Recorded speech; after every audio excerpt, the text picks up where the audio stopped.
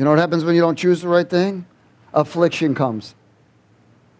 Affliction. Many are the afflictions of the righteous, but those who choose the right thing, the Lord will deliver out of all of them. That's why many people stay in their affliction so long. Some people stay in their afflictions forever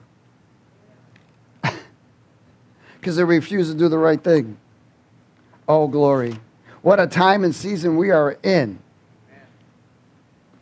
I'm telling you, what a time and season we are in. Things are about to explode.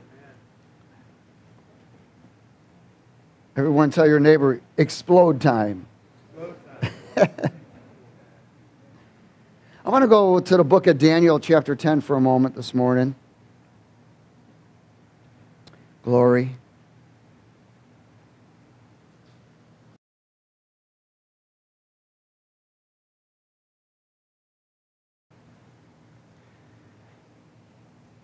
Is everybody there? Daniel 10.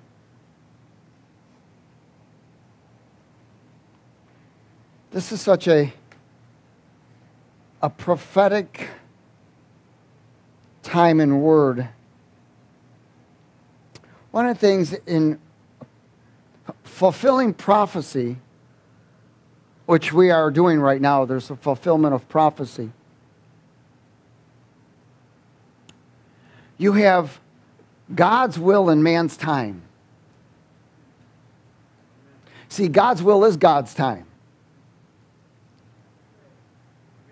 But there's God's will that he tries to get to match up with man's time on an individual basis. When Jesus was in the Garden of Gethsemane, he said, Father, if it's possible, let this cup pass me by, but not my will, your will. Why? Because he said he knew that he had come. There was a purpose for him coming because his will associated with his time, he was trying to match it with God's will because it was God's time. That's how prophetic things release in this realm. So, for you and I to walk correctly, in fulfilling prophecy as an individual or destiny, you must walk according to His will and His time and not your own. Does everybody get it? So, again, so many times we're, we think we're battling in the arena, of course, demonic forces. The reason why we're battling in demonic forces is they're trying to sway you from delaying in God's time or going ahead of Him and when you do either one of those, you miss. Because God's will has always got specific appointed prophetic release times for your life, and then there's a prophetic release time for a nation and the world. Everything must fall in line in whatever we do. That's why he says, Those who have ears, let them hear what the Spirit says. Because so many people are moving out of God's time. And they miss the opportunities. And when you miss an opportunity of God's perfect time, you get mixed messages. Does everybody understand what I'm saying? You get mixed messages. And miss, mixed messages because of the battle in the arena of the demonic or the soulish arena. Because in the soul, where you're always battling, because that's where the battle is at your mind, will, emotions, and imaginations and conscience. When you're out of God's time, that means the soul is in control and not the spirit. So, what the soul wants, wants a word from God or something from somewhere to bring fulfillment, but it really is false. It's incorrect because it's too mixed. So, what it does is puff up the soul and promotes pride and arrogance and can move a person out of position real quick. Does everybody understand that? If I was to ask someone, if I was to say right now, if you are sick in this room, I want you to come up and get prayed for. And you came up and you weren't sick, you would not get what you came for. Because it wasn't God's appointed time for you to get it. If I was to call everybody that was a pastor to come up and get prayed for right now, and you haven't been ordained yet by God and if- as a pastor, and you came up and got prayed for, you to get a mixed message. But if I asked anybody who wanted to be prayed for who came up, you would receive the correct message. Does everybody understand? Because everything must fall directly in what God's will is and not the soulish will. Or you miss every time. You'll have a mixed message, and that mixed message will come out and promote, pride. Like, I'm somebody. When none of us are nothing. And that's how God does it prophetically with times and seasons and everything else that He does. Why? Because they are pre scheduled, appointed moments, visitations, events, and awakenings for all mankind. But there's that special time for you and God. That's why He says, Who do you say that I am? Not what everybody else says. Who do you say that I am? In Daniel chapter 10, in verse 1, in the third year of Cyrus, king of Persia, a message was revealed to Daniel, whose name was called Belhazzar. The message was true, but the appointed time was long. In other words, God was going to release a message to Daniel, but it wasn't going to become come to pass yet because the appointed time was down in the future, not now. But Daniel would want to get understanding of this.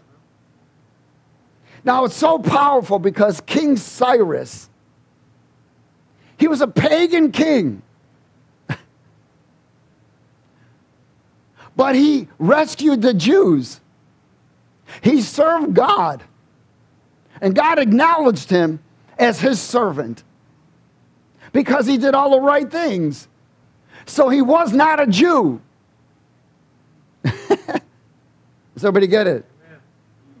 He was considered a pagan king, but he was a pagan king that served God. Now, isn't that incredible? Now, the message was true, but the appointed time was long, and he understood the message and had understanding of the vision. In those days, I, Daniel, was mourning three full weeks. I ate no pleasant food, so he didn't eat any Panera or Publix pastries. He ate no meat nor wine.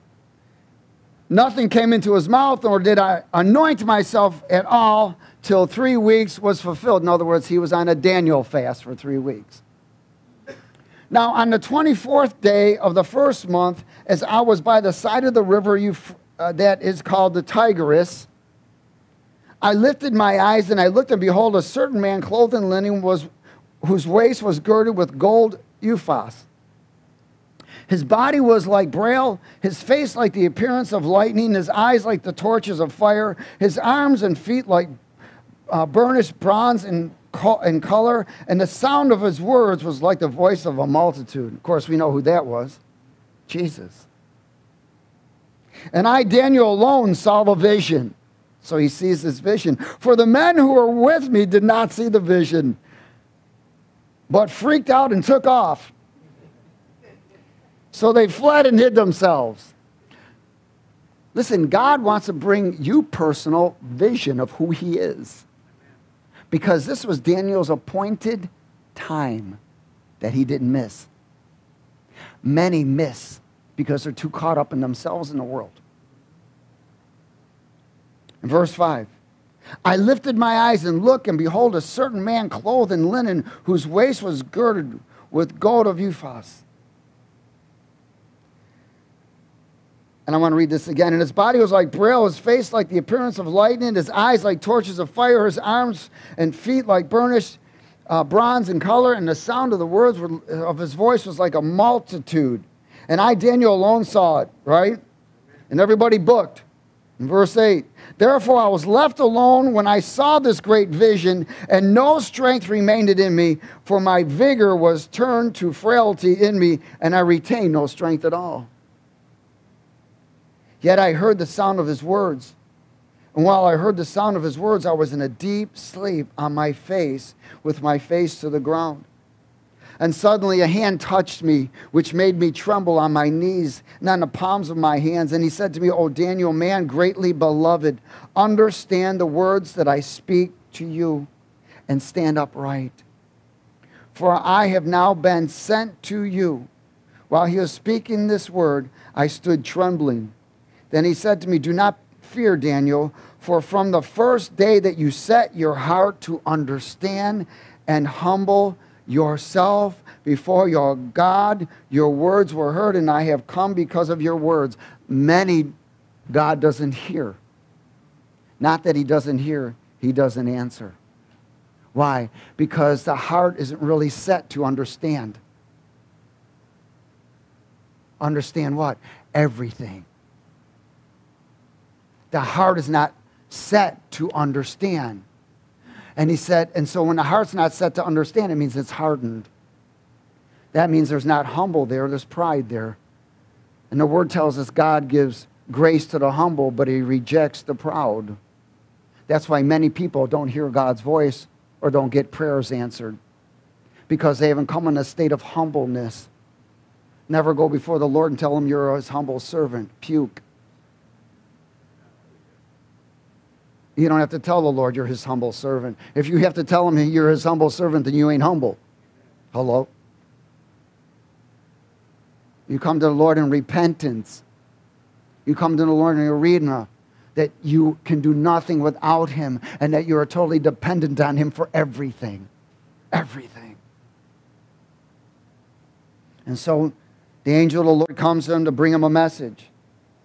And it's powerful. From the first day that you set your heart to understand and humble yourself before your God, your words were heard, and I have come because of your words.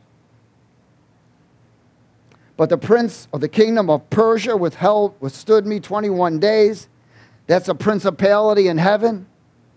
And behold, Michael the archangel, one of the chief priests, came to help me, for I had been left alone there with the kings of Persia. Now I have come to make you understand what will happen to your people in the what? Latter days. For the vision refers to many days yet to come. So he was coming to tell him to prepare him. It was almost like a rehearsal for what was going to come. So there'd be appointed time. Why? So it could be written, so it could be read, and so there could be preparation all the way down, all the way down to now. Now. King Cyrus and a message of end time with Daniel a prophet. In other words, he was by a river, wasn't he? The interpretation comes through the set heart to understand and revelation to the humble. Only those that are humble. Why? Because this was a vision of the future that Daniel had to write down and prepare people that would read it. King Cyrus again was a pagan king of Persia. He was called the great conqueror of Babylon. In other words, he was the great conqueror of one world order. I'm going to say it again. He was the great conqueror of Babylon, so he was considered as the conqueror of one world order. He was one that was going to resist and expose it all. He freed the Jews and returned them to Jerusalem so that they could rebuild the temple. Sound familiar?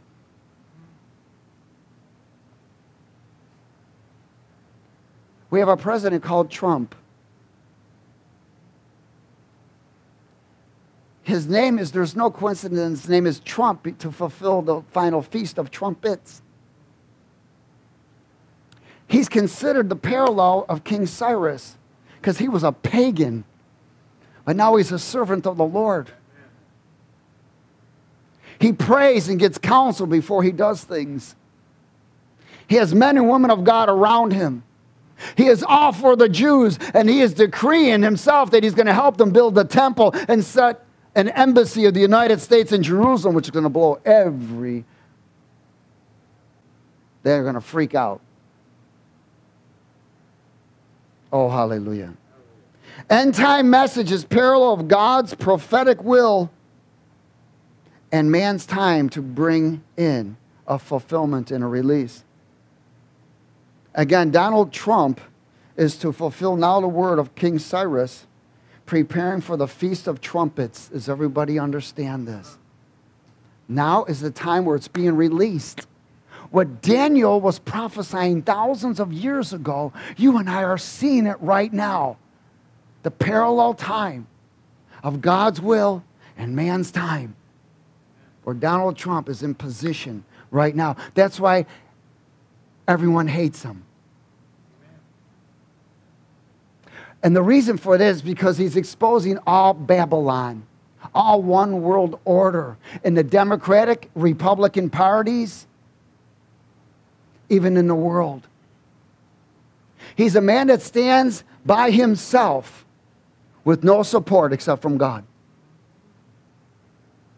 Does everybody get this? And Proverbs 29.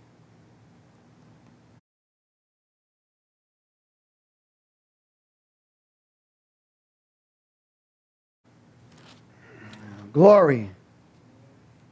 Is everybody there? Again, I want you to grab hold because God is a God of justice and righteousness. He releases revelations to those who have a humble heart, contrite spirit, who are setting their hearts to understand.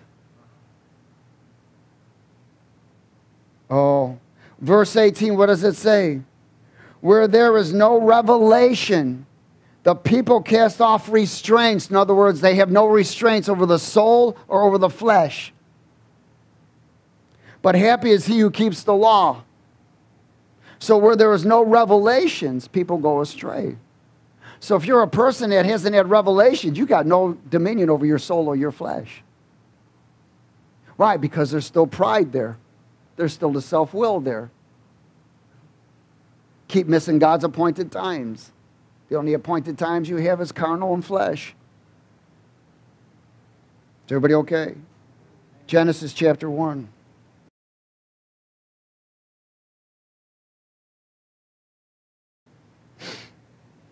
Glory. Genesis chapter 1. In verse 13 and 14 something like that in 15. So the evening and the morning were the third day. They were what day? Third. third day. I think that's kind of important, isn't it? It's called resurrection. Amen.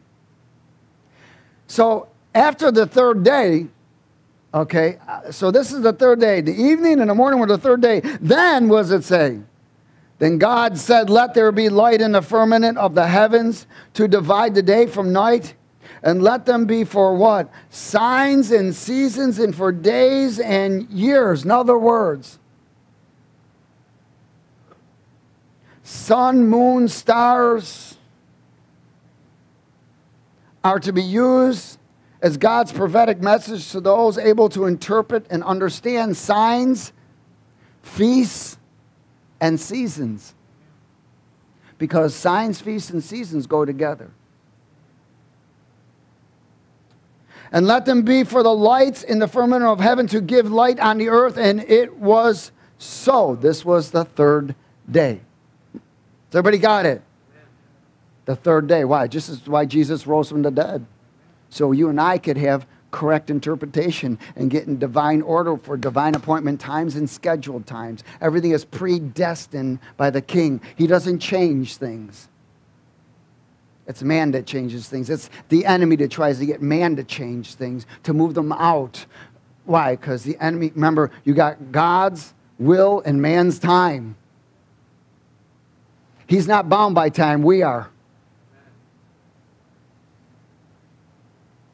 These are, this also is associated not with just, you know, what you and I look at lights and stars and moons and whatever. These are prophetic messages of seasons, but they're associated with Hebrew calendars, not our calendars. This is all Hebrew language and Hebrew camel, calendars. This is a Hebrew Bible translated from Greek to English. And boy, did they mess some stuff up when they translated it. That's why you got to have the Holy Spirit. And Leviticus 23.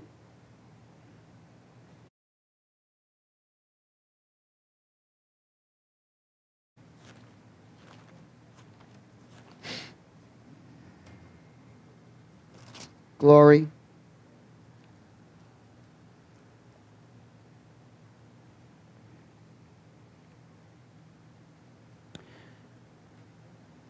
I can't tell you how many individual Christians have no idea about the feast of the Lord or the understanding of the tabernacle, which is so, so important for biblical pre scheduled events. Many are still walking out there not even knowing what's getting ready to happen. They're more concerned in prosperity and everything else, and there's nothing wrong with prosperity. God wants to bless our socks off, right? Amen. Praise God. We got about 1,700 pair left.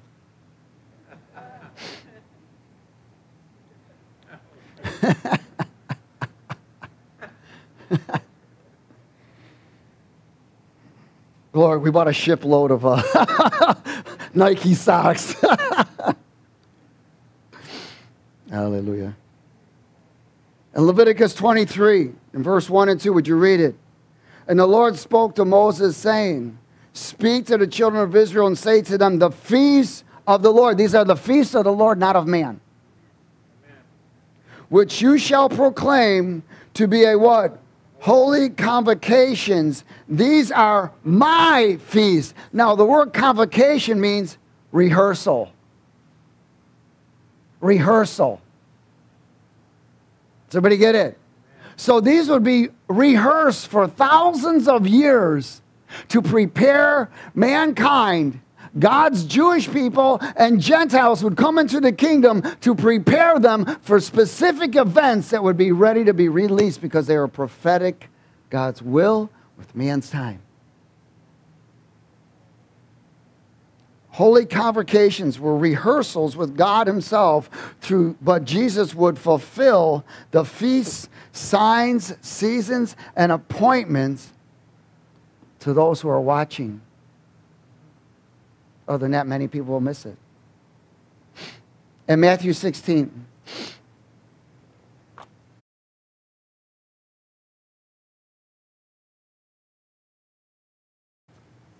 Matthew 16.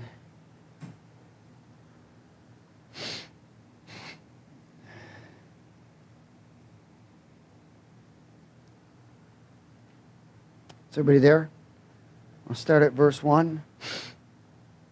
Then the Pharisees and Sadducees came testing Jesus, asked him that he would show them a sign from heaven. He answered and said to them, When it is evening, you say, It will be fair weather, for the sky is red. And in the morning, it will be foul weather today, for the sky is red and threatening. Hypocrites, pretenders. You know how to discern the face of the sky, but you cannot discern the signs of the times. What was he talking about? They couldn't discern the biblical calendar. And these were Jews because they were so caught up in their traditions and their laws. What did he say? He said, A wicked, wicked and adulterous generation seeks after a sign and no sign shall be given to it except the sign of the prophet of Jonah. And he left them and departed. I'm sharing with you that we're about to see a sign from jo- about the sign of Jonah. End time signs of Jonah. During the time of Jonah, now, Nineveh was all the sins had gone before, him, the, gone before the Lord. And the Lord was sending Jonah over to Nineveh to bring a message of repentance. Okay? Now, before Jonah got to Nineveh, of course, look what Jonah went through. Jesus was explaining about, I'm going to give you a sign, but the only sign would be from Jonah. Well, we know that the one sign would be that Jesus would be in the depths for three days. Jonah was in the belly for three days. Amen? But there's another sign that not many talk about. And that was a total eclipse. Before no, uh, Jonah got to Nineveh, all wickedness, all kinds of stuff broke out. I mean, there was all fornication, all kinds of things going on there. The sins had come up to the Lord, and he said, Look at Jonah, you need to go over there. Of course, Jonah resisted. and God put him in a belly's well for three days and had to personally send him in a submarine made by his hand and bring him over to Nineveh. that was the first submarine. and I don't think it was yellow.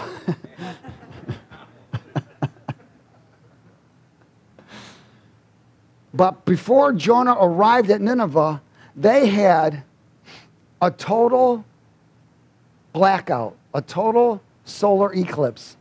Now, you got to understand, when people in those days saw a total eclipse, they realized judgment. They, ah! It's an omen to them. Whoa! Same thing when Jesus was walking on the water, freaked out the disciples. Why? Because that, to them, they used to say, there was a saying, if they saw a ghost walking on the water, that means everybody was going to die on the boat. So they freaked out. So before Jonah got to Nineveh, they had freaked out because of this total full eclipse. So by the time Jonah got there, they were ready to receive the message. What do we need to do? He said, Repent. And the Lord relented from destroying Nineveh. Amen? So we got to understand that there is a message of repenting going on right now. Because in reality, this country is under judgment. It's under judgment of God. Why? Because of all the abortions, same sex marriage, all of the stuff that's going on. People who call themselves Christians voting for politicians that approve of these things. And they're bringing a curse on themselves and have no idea. They said, if you voted for Obama, you better repent. Because the blood's on your hands of all those kids that have been aborted.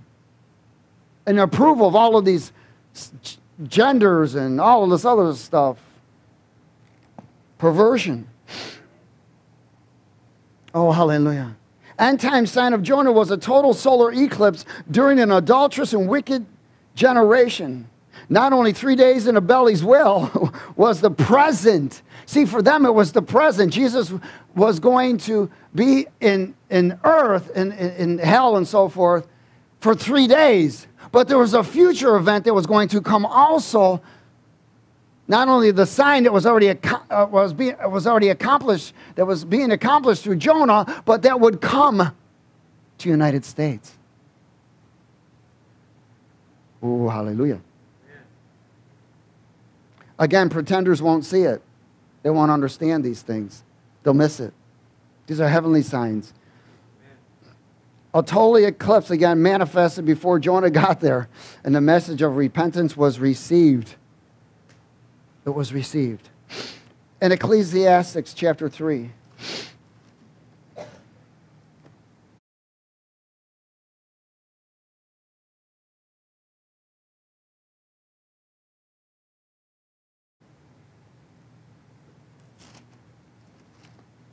I guess we can call this America's great eclipse.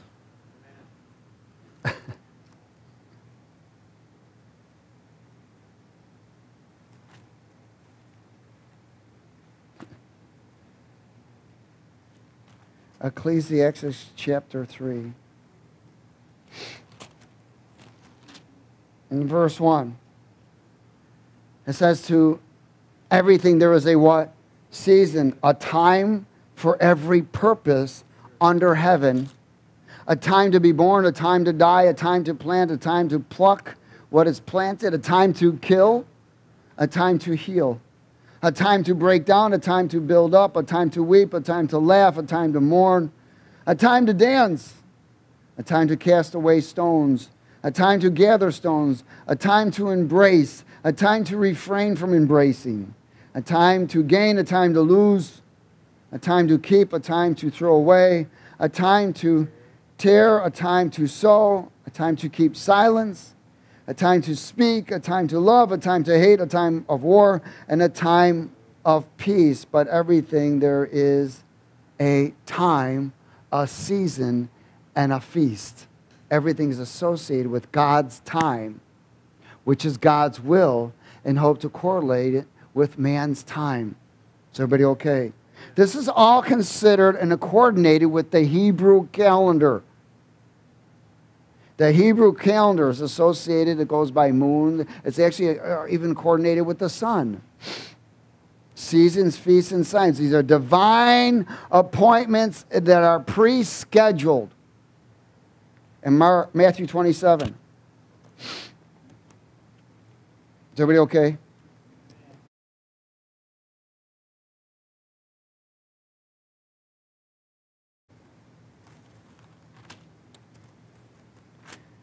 This eclipse, total eclipse, will start tomorrow. It's a total eclipse. And Matthew 27 and verse 45.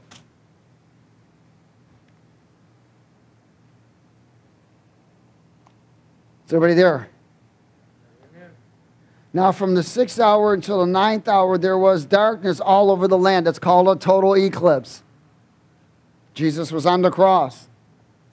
And about the ninth hour, Jesus cried out with a loud voice, saying, uh, My God, my God, why have you forsaken me?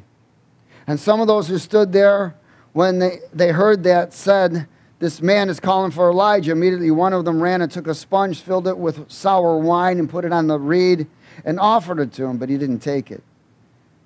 The rest said, Let him alone. Let us see if Elijah will come to save him. And Jesus cried out again with a loud voice, Yield up his spirit. Then behold, the veil of the temple was torn in two from top to bottom, and the earth quaked. Everyone say earthquake. earthquake. And the rocks were split, the graves were open, and many of the bodies of the saints who had fallen asleep during Jesus' ministry had come out of the graves after Jesus' resurrection was the fulfillment of Jonah. Amen? Jonah's prophecy. Three days in the earth but there was something else that happened that he fulfilled was the total eclipse, wasn't there? Amen. And coming out of the graves after his resurrection, and they were they went into the city and appeared to many. Darkness, total eclipse, followed by an earthquake. Resurrection, three days. Does everybody see that? in Luke 21.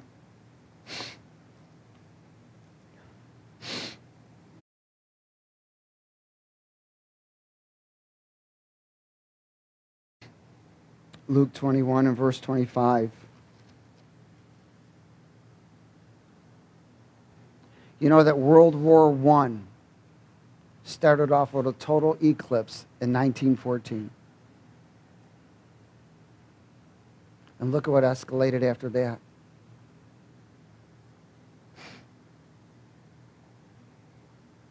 In verse 25, let's speak it. And there will be signs in the sun, in the moon, and in the stars, and on the earth distress of nations with perplexity, and the sea and the waves roaring. Is that happening? Much. Men's heart failing them from fear and expectation of those things which are coming on the earth. For the powers of the heavens will be shaken. Then they will see the Son of Man coming in a cloud with power and great glory. Now, when these things begin to happen, look up and let, lift up your heads because your redemption draws near. Then he spoke to them about a parable. Look at the fig tree and all the trees. When they are ready, already budding, you see and know for yourselves that summer is near. So you also, when you see these things beginning to happen, know that the kingdom of God is near. And assuredly I say to you, this generation will by no means pass away till all these things take place. Heaven and earth will pass away, but my words will by no means pass away. But take heed to yourselves, lest your heart be weighed down with carousing, drunkenness, and cares of this life. And that day come upon you when?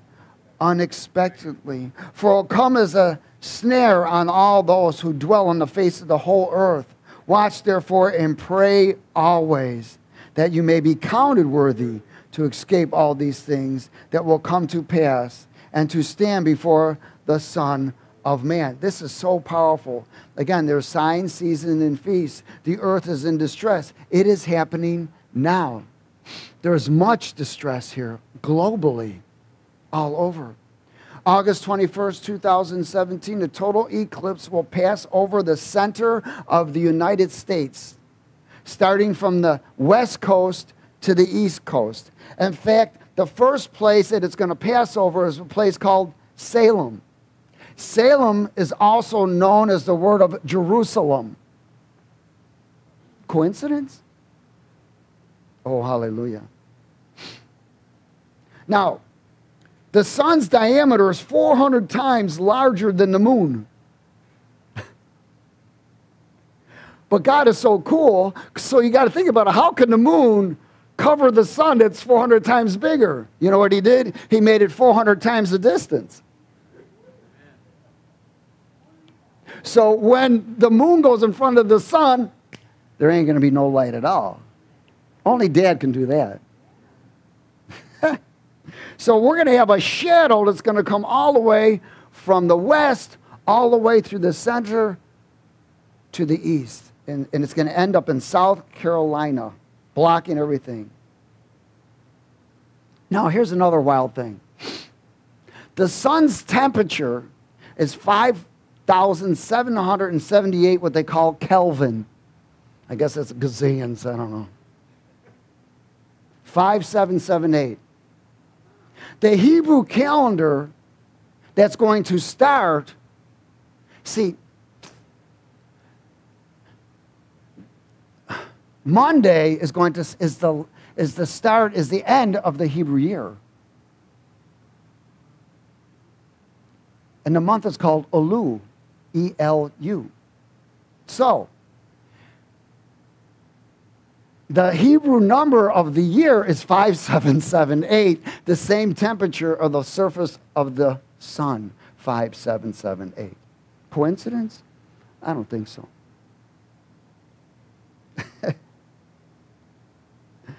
now, Nineveh had five things going on before judgment. They had plagues, they had civil war, they had military losses, they had earthquakes, and of course, the eclipse. But God held back his judgment because they what? Repented. The sun will go dark in the United States exactly at the same time that the sun will set in Jerusalem. It's identical. Has everybody got it? This eclipse will start in the Hebrew calendar in the beginning of the month of Elul. Again, it was starting in the East Coast in the, in the place of uh, Salem to the South Carolina. And um, this is known for Elu, it's, it's known as 40 days of repentance. The new moon of Elu, which is, you know, for our, our, we're like a day or something off from the, uh, it, Jerusalem. Elu is the final month and the word alu means harvest or gathering. It is a message to repent. Now, here's another kicker. Remember when Jesus, when it, Jesus was on the cross, it got dark and then the earthquake came, right? Well, this eclipse, the shadow, will travel over all the major earthquake zones. In fact, where it's traveling over is 95% of Trump's voters. Why? Because it's representing the body of Christ who come to repentance. Alu. The first of Alu, there's a couple things that occurred during the first of Alu. Jonah brings the message of repentance to Nineveh, all right? Moses, in the first of Alu, goes up to Mount Sinai to repent for the Israelites for making the calf, the golden calf, after he destroys it, he goes back up for 40 more days. 40 days. And, and the first of Elul, Jesus goes in the wilderness for 40 days. So there's no coincidence, is there? Now, there's something else that's going to happen. This is going to lead up to 2000, I mean, uh, September 23rd, which is also going to fulfill something that's happened in the heavenlies, Revelation chapter 12.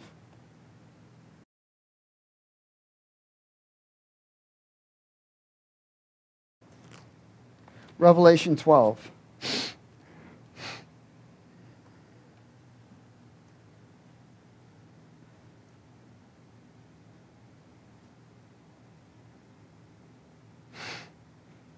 In verse 1.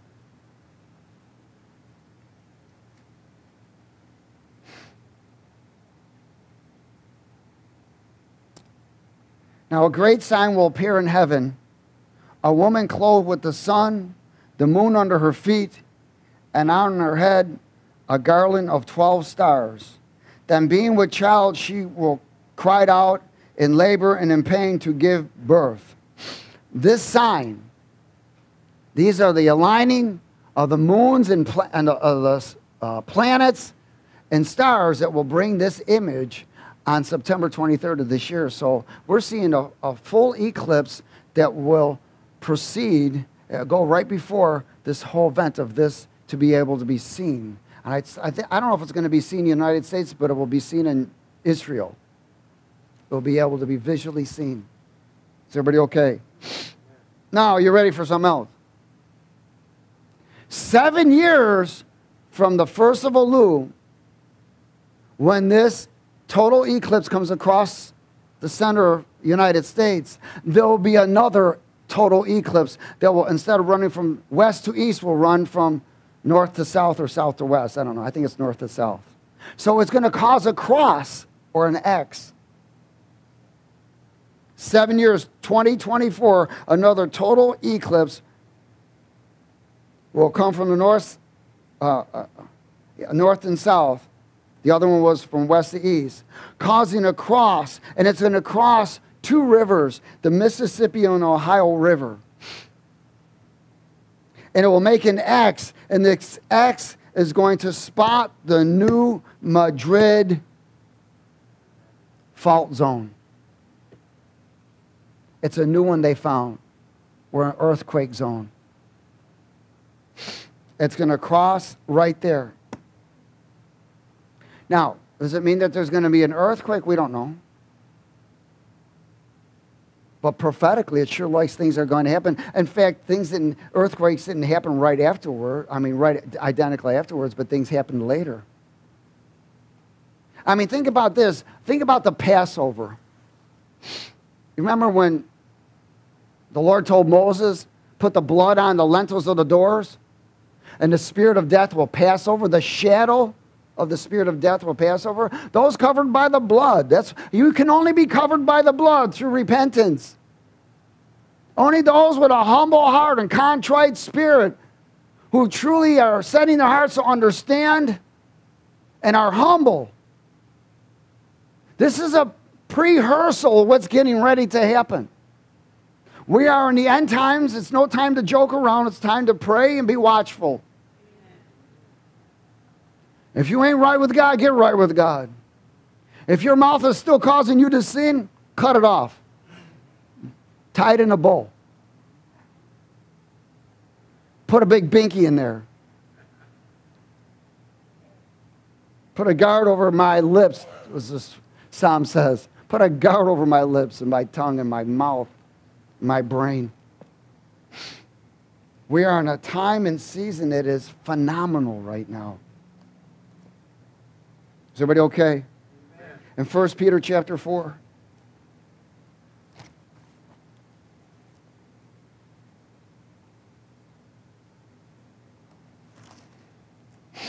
In verse 12.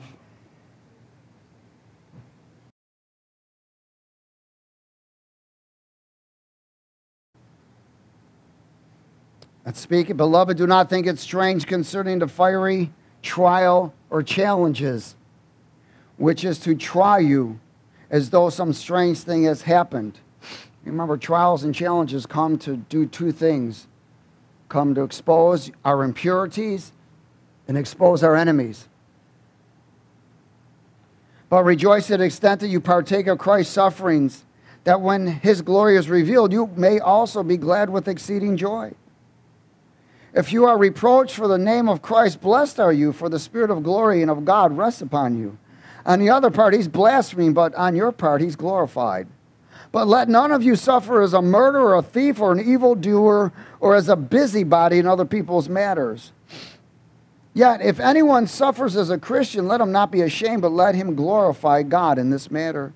For the time has come for judgment to begin at the house of God. And if it begins with us first, what will be the end of those who do not obey the gospel of God? Now, if righteousness, if the righteous one is scarcely saved, where will the ungodly and the sinner appear? Therefore, let those who suffer according to the will of God commit their souls to Him and doing good to a faithful Creator. Psalm 19.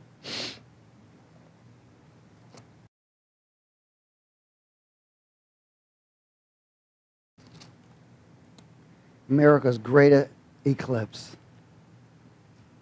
Hopefully, it's America's great awakening.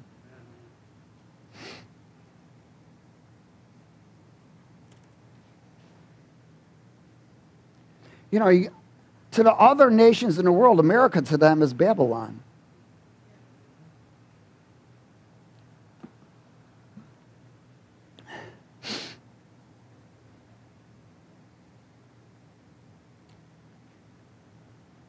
In verse 1, the heavens declare the glory of God, and the firmament shows his handiwork. Day unto day utters speech, and night unto night reveals knowledge. There is no speech nor language where their voice is not heard.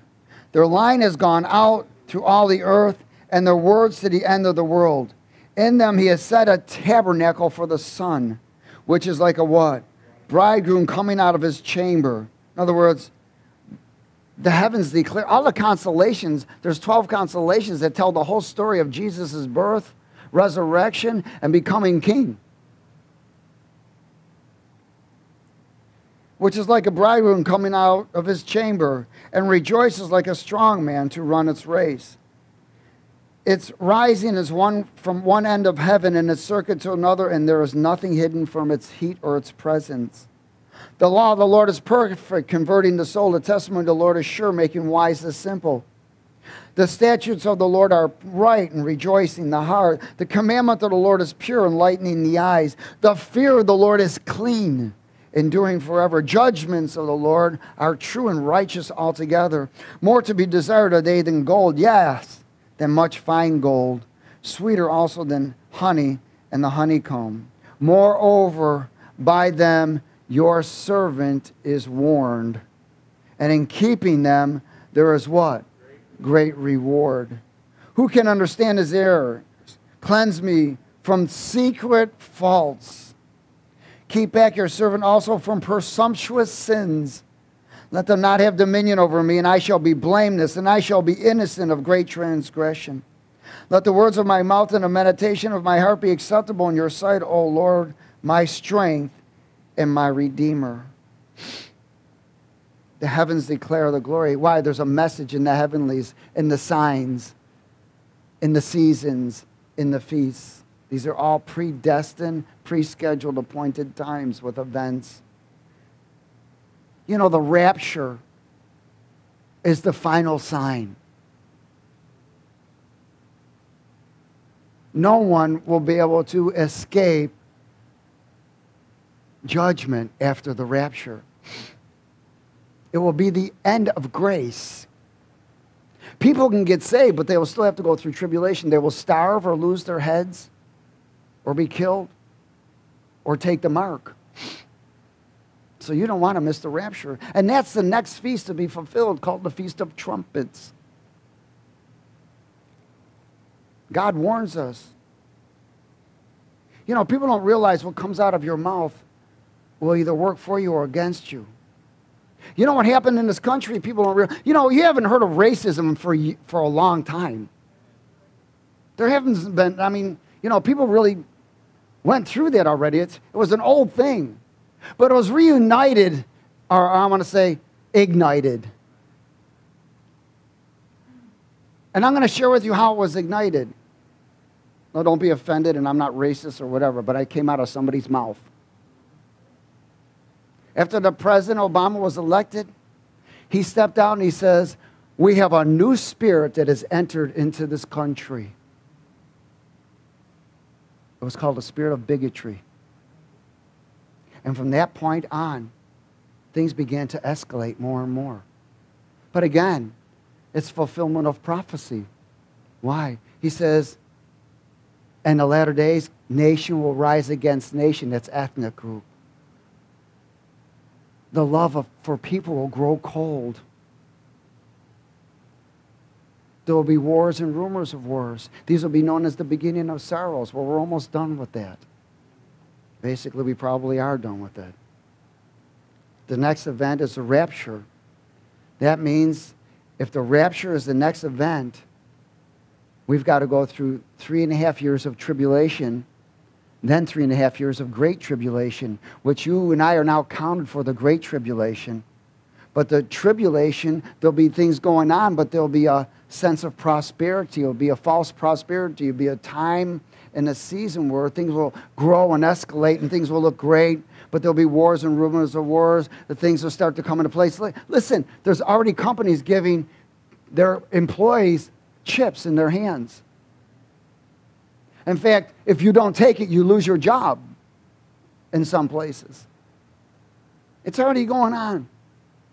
Google is the censor, the governing censor God, uh, the government uses to censor everything globally.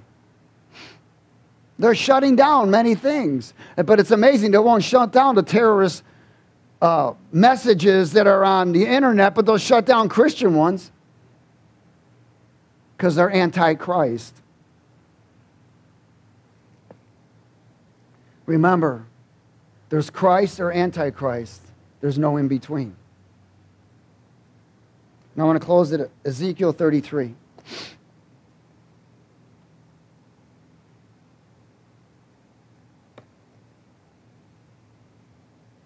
Your phone is your sensor. They censor you through your phones, they censor you through your TVs, they censor you through everything. There is no longer privacy unless you choose to go off the grid.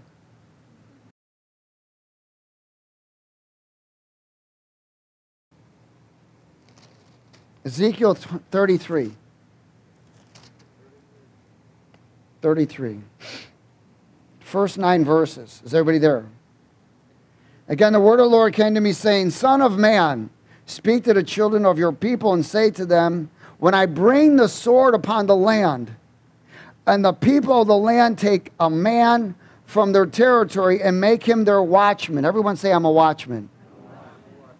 You didn't get rescued, you just sweep floors. Amen? Or do just ministry, or just be rescued to have a family. God rescued you to be his eyes and his ears so that you can become watchmen. But if you're prideful, you can't because you'll be dull of hearing and dull of seeing. If you're still living for yourself, if you're still in the world and trying to live, live in both places, it ain't going to happen because you can't serve two masters. You will lose the fight. Verse 3 When the watchman, when he sees the sword coming upon the land, if he blows the trumpet, and warns the people, then whoever hears the sound of the trumpet and does not take warning, if the sword comes and takes him away, his blood shall be on his own head. So that means we got to hear the warning, don't we? He heard the sound of the trumpet, but did not take warning. His blood shall be on, on himself. But he who takes warning will save his life. But if the watchman sees a sword coming and does not blow the trumpet, so I'm telling you, I'm blowing the trumpet. And the people are not warned, and the sword comes and takes away any person from among them, he is taken away in his iniquity, but his blood I will require at the watchman's hand. So everybody claimed to be a watchman, right? Well, hallelujah. So you, Son of Man, I have made you a watchman for the house of Israel. Therefore you shall hear a word from my mouth and warn them for me. When I say to the wicked, O wicked man, you shall surely die, and you do not speak to warn the wicked from his way, that wicked man shall die in his iniquity, but his blood I will require at your hand. Nevertheless, if you warn the wicked to turn from his way, and he does not turn from his way, he shall die in his iniquity, but you have delivered your soul. You have delivered your soul. So, yes, we must not only be warned, but warn others. We are in a time and season of great, great things getting ready to happen. Uh, not only look at not only things things are chaotic all over, but in chaos there is revival. There's a revival. So don't get caught in the chaos. Get caught up in the Lord because He's unlocking many things. Many things. I heard two words yesterday that were powerful to me. I'm not going to get into them, but when I sat and I re- and those two words came back to me, the Lord said, out of the mouth of two witnesses, it's established. And the Holy Spirit showed me that chains were being broken and locks were being taken off of things that were supposed to be coming to us. You know that you have an inheritance that's been building up for years by Jesus treasures that he's been saving for you for years. And so many people have died never unlocking their inheritance. They're going home to get it, but what the heck good does it do you at home when you need it now? Because of dull of hearing, dull of seeing, and disobedience.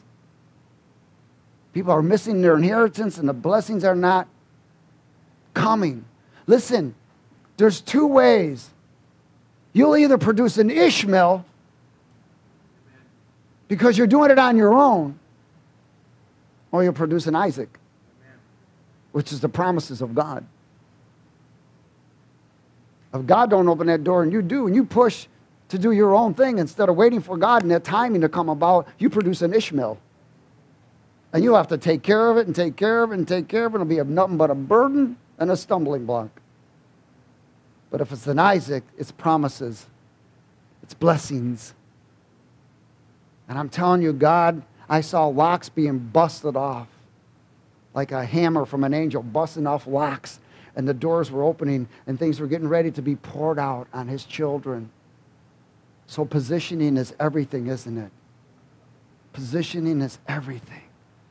So, Father, we thank you for your word. We are honored and blessed have mercy, have mercy, have mercy. Let us not live for ourselves, but live for you. Bring us to the place where your will and our will, your time and our time, are perfectly met for the appointed, predestined, scheduled time so that we may receive our inheritance and be awake of the events and things that are happening as watchmen for your glory. In Jesus' name.